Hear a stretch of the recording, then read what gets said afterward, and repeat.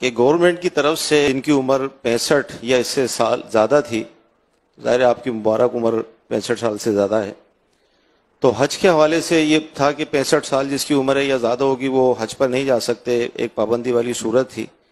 तो इस्लामी भाई आपके लिए कोशिश भी कर रहे थे, दुआ भी कर रहे थे कि आपका वीज़ा लग जाए।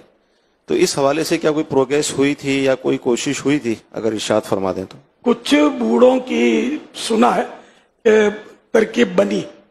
अब उसमें क्या वो दो नंबर की तरकीब बनी।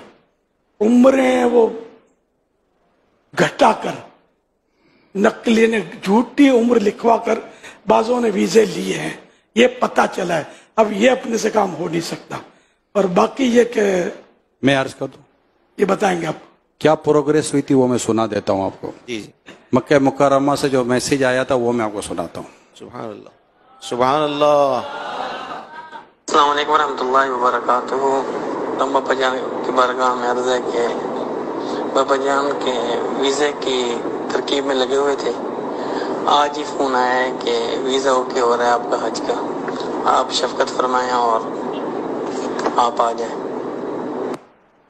सुबह अल्लाह क्या मशवरा है? बाबा आप भी जाएँ हम सबको भी अपने साथ ले जाएँ। कौन कौन बाबा के साथ जाएगा भाई? तनख्वाहें कैसे बढ़ेंगी आप लोगों की फिर? आपके सदके सब कुछ हो जाएगा बाबा दिया भी वापस ले तनख्वाह भी हो जाएगी हज भी हो जाएगा।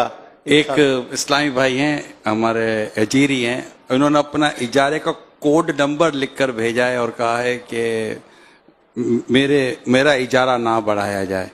मैं चाहता हूँ कि दाऊद इस्लामी के बजट पर मेरे इजारा ना लेने से जो वज़न कम हो वो कबूल कर लिया जाए। यानी ऐसे ऐसे जज्बात हमारे इस्लामी भाइयों के आए हैं। काबिल दीद और काबिल तहसीन जज्बात है मोहब्बत है दावत इस्लामी से। मैंने बहुत सोच समझ कर बड़ा यूँ समझो कि मैंने सोने से पहले सुबह गाले में सोने से पहले आपको हाँ, पैगाम मैंने दे दिया था। यार अल्लाह पाक आफियत नसीब फरमा।